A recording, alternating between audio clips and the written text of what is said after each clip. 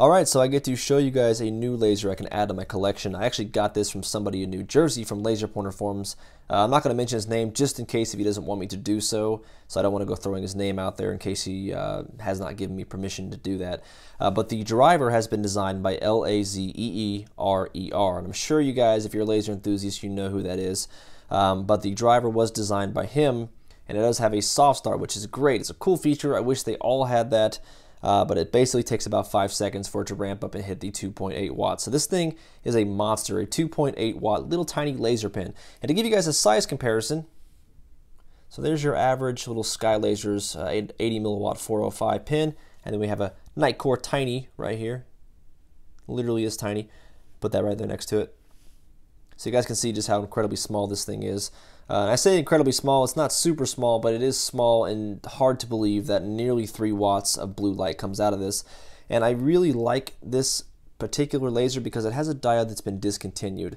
And you guys will know what that diode is. It's the Nichia NDB7875. Now, I'm not sure what the direct replacement was to that diode, but I do know that they have other ones that are probably more efficient and do have more power, uh, like the NUBM 05, 06, 08. Like I said, I don't know if those are the replacements for it but I do know that the diode in here has been discontinued. So this may be the only laser I ever have with the NDB 7875.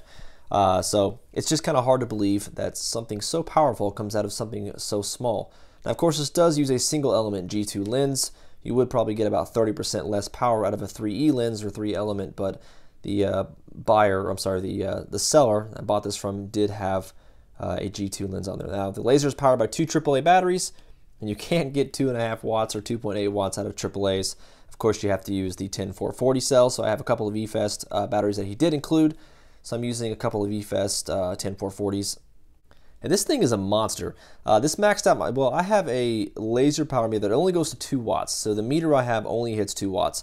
And it shot up to 2 watts. Now the sensor itself can handle up to 6 watts. So I'm not worried about the sensor being burned on the LPM, but it does shoot up to 2000 milliwatts really quickly in a matter of seconds and then stops. So it definitely is hitting close to 3 watts, I will say that.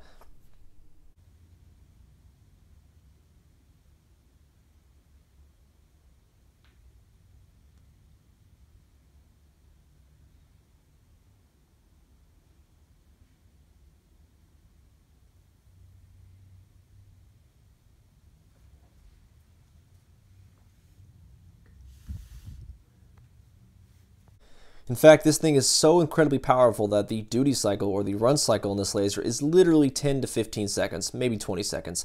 Uh, from a complete cooldown, maybe 20 seconds. I wouldn't have it on much longer than that. But if you've been using it and it's still a tad bit warm, you've been kind of doing it off and on, I wouldn't recommend more than 10 to 15 seconds for myself.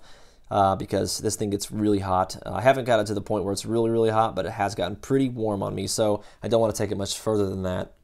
So as you guys know, dark surfaces or black things, usually dark things, burn very easily with lasers, but it takes a lot of energy to burn a white piece of paper. Uh, my one watt, uh, my one watt 44, I'm sorry, yeah, my one watt 445 and my 501B host um, will not burn a white piece of paper. Absolutely not. It will if you focus it down to a fine hair point where that little focal point is right there. It will burn a piece of paper, but this is focused to infinity, which basically means there is no focal point on this laser. I have it focused to infinity. So there's no, uh, basically no focusing on this laser. I don't have it focused, and yet it still burns a hole through a white piece of paper.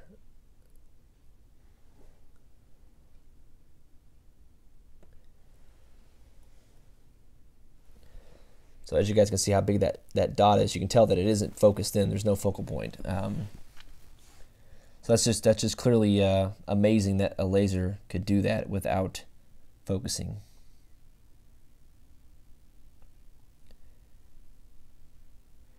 So yeah, this thing's definitely really powerful.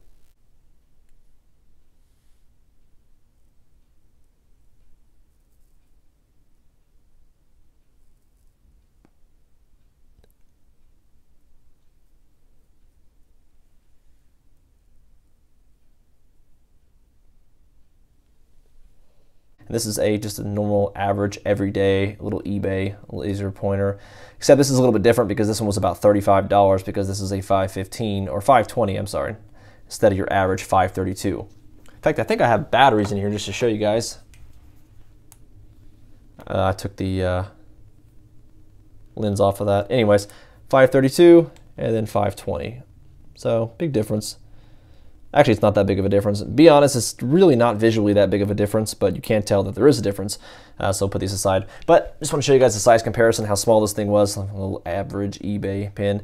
Um, actually outperforms one of my lasers by uh, the only G2 lens I've got is on my um, my 16x, my BDR 209 16x build, and um, that's for hitting about eight, you know, 700, 800 uh, milliwatts on my 405. And so I don't really have any other G2 lenses. The most powerful laser that I got uh, is actually my PLTB 450B, and that's actually hitting 1.69 watts. So um, aside from that, that's basically my most powerful laser. And so this is 2.9, almost 3 watts. So it's a big step up.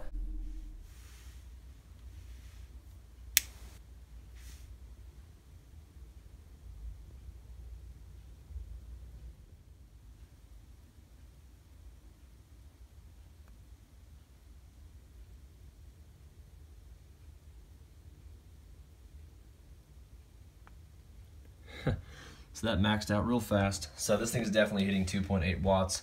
I wish my meter went further or higher than 2 watts, but unfortunately it doesn't. So, so the button is being pressed now.